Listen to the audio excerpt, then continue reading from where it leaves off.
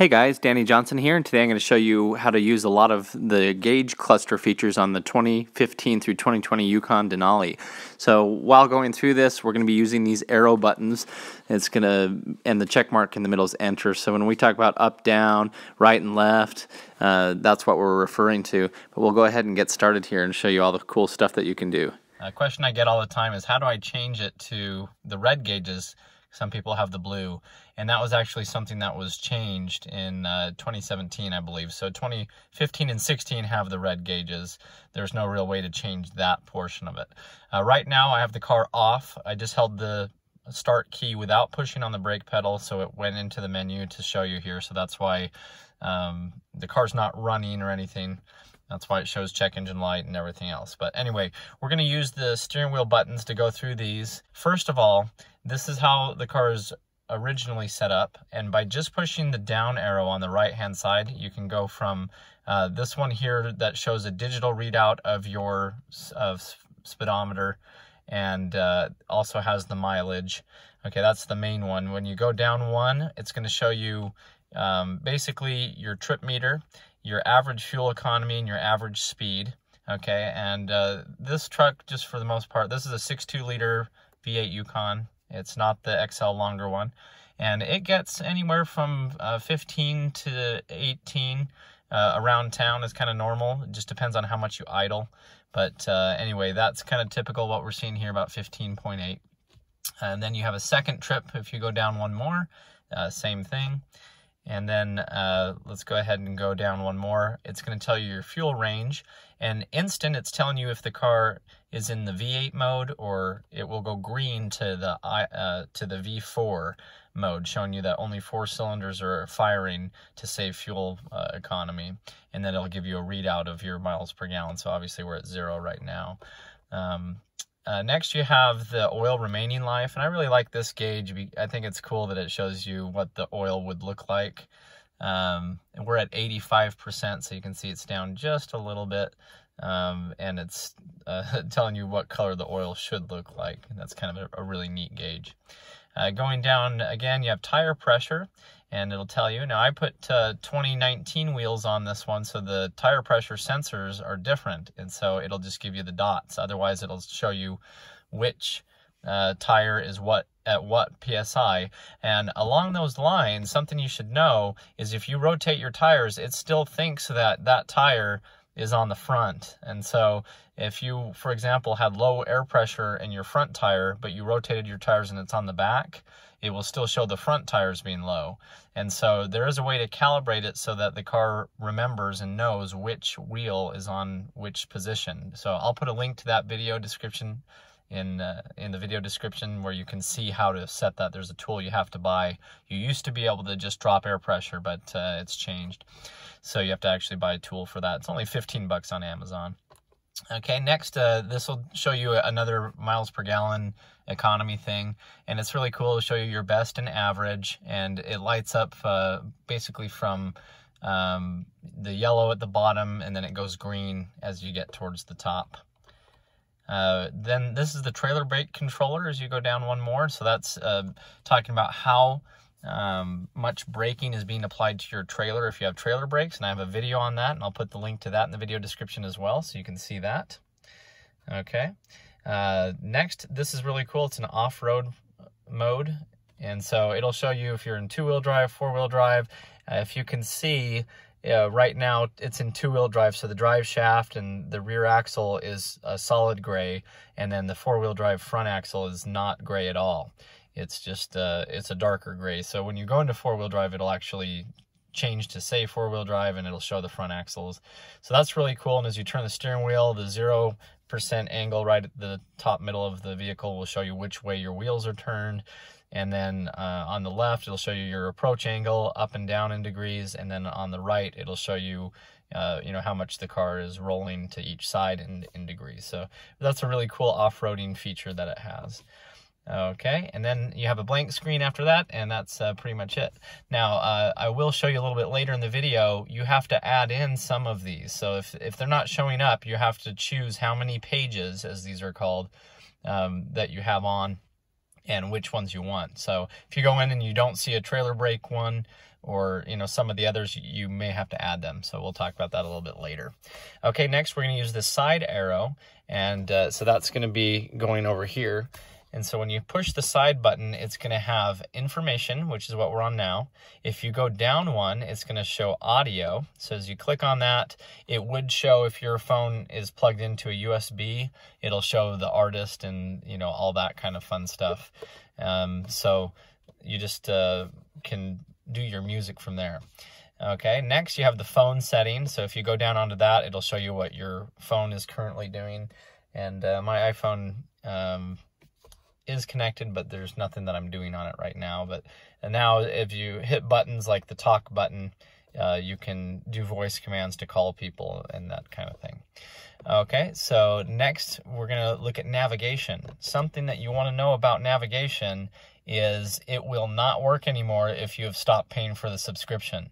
Okay, so uh, for the first part of the vehicle, it had a subscription that was paid for and then that goes away. You have to pay five to twenty dollars a month or something like that for the navigation, everything to work. So uh, you'll also notice at the very top here, this right here would show northeast, southwest. Now it just shows dot dot and it doesn't move. Um, so your compass does not work either unless you're paying for that subscription. Okay. Uh, next, you have the settings. We're going to go ahead and click onto that one. And so this will tell you if you want it in US and what units you want okay? And as you scroll down, standard, uh, let's go through this one. And now we're going to hit the right button to go from standard, which I just showed you, we'll go down to technology. So technology is a whole new setup, and it's really cool looking. Okay, so it's just a, a, different look, and now it looks like you have three gauges instead of the two. If you were to, to look at that, see how it looks like it's three circles. And so um, I like this one. It's fun to use when driving around and using cruise control and everything. Um, the only thing I don't like about the technology is one, uh, if you haven't paid for things, then a lot of it doesn't do you much good if you haven't paid for that subscription. Next, all you have is a fuel gauge and a temperature gauge. So you lose the um, the voltage and you lose the oil pressure. So you lose a lot of gauges. So you probably wouldn't want to have this one on if you're towing or you know doing anything like that. So anyway, uh, that's the the theme for technology. And then if you go back um, in technology mode, you can see that it's just the same thing. It's just laid out differently. So here's the different ones that we've had that we just went through and it shows them just the same. It's just kind of a different layout, so it's kind of cool. So let's go back into settings. Um, and so that was our technology one. Uh, now let's go down to media. So media, again, it's kind of a, a similar one. It changes it. It'll show you better things if you're connected to your phone of uh, artists and everything, the music you're listening to and all that. Same thing on this, it's only showing you the fuel readout on the right and the temperature readout on the left. So you don't have as many uh, automotive gauges per se. Uh, okay, and uh, so th that's those three here. And so as you as you saw here, uh, if you hit that right button and you go into technology or whatnot, and then you hit the right button again. Let's see. Oh, sorry. Okay, there it is. So we're in the technology one now. If you hit the down button, that's where, see how it says 9 out of 12 pages are shown? So if we hit the right button to see which ones those are, you have trip meter, trip B, fuel range, oil life, uh, tire pressure, fuel economy. Um, I don't have a fuel used and timer on. I don't have a speed limit on. And um, I have the trailer brake controller. I have the off-road mode. I don't have engine hours. It's just another one that's not too necessary for me. And then uh, the blank page if you want to just have it blank. So those are the ones that I've selected. And that's how you would select those.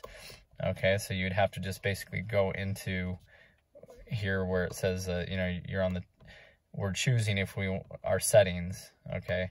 And so here's also where you can go to update some controls and things. I haven't really done anything with that. So anyway, um, there's speed warnings if you want to enable those. I don't need them going off at me all the time. Um, and so now we're kind of back to where we were. Here's our US technology and all the different uh, packages here. So um, that's how those ones pretty much all work. Here we are back at our, our normal screen. And if you were to go down, it's the same thing.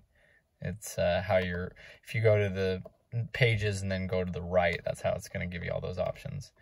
So that's how you can turn all those on. Okay, so that's it for all of these. Let's go back into info. And uh, yeah, any of these that you want to reset, you know, for example, if you want to reset your um, current mileage, now you'll just go to the right arrow and it, you can choose, I want to see my best 25 mile score, best 50, 400 for longer trips, and then you can just reset them and then so now it's basically just starting over. So um, that's uh, basically how that one works. And um, as far as the gauges here at the top, you have your oil pressure on the left, you have your coolant temperature, your engine temperature, you have your fuel. Okay, and uh, then you have your battery volts on the top right. Now I'm going to go ahead and start the vehicle here just to show you something kind of neat. Uh, at the very end of the shift lever, you have the tow haul button. So when I push that, watch what happens to the uh, battery. It flips out and now it goes into a transmission temperature gauge, which is really cool. When I first bought this uh, truck, it actually was not working. I had to change the harness for the uh, temperature sensor to change. And I'll put a link to that video in the description. It's a very common problem. And so anyway, that's uh, the tow haul mode there as you uh, as you do that. So um, once you hit tow haul again, you'll see the little trailer symbol comes on. And uh, once you hit it again, it goes back.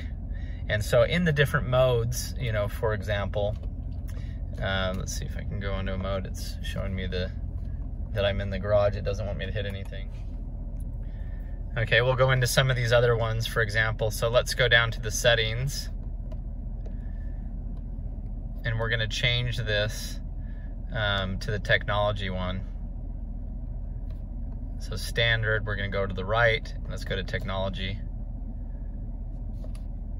So here we are, technology, driving down the road. Um, so we'll back out, go back into our information. So here's what the technology one looks like. And so when you hit that tow haul button, it does give you a few more options. So now you do have you know your uh, engine temperature or you have your transmission temperature you have your fuel you have the oil pressure and the temperature still no uh, volts meter so you lose that one. And so you don't want to drive around in tow haul mode all the time or you're shifting at like 3000 rpm and it's uh, you know it's not as comfortable uses more fuel all that kind of thing. So it will show you those if you hit tow haul but uh, otherwise just driving around it only gives you the two. So anyway, I have a ton of videos on this Yukon. I'll put the playlist in the video description if you want to scroll through that and watch the other videos from dropping the spare tire to changing the uh, harness for the transmission to changing the transmission oil, the engine oil, uh, all kinds of fun stuff, you know, folding the mirrors in automatically, um, setting the garage door opener, all that fun stuff. So please check the video description. Hopefully you enjoy the video. Thanks for watching.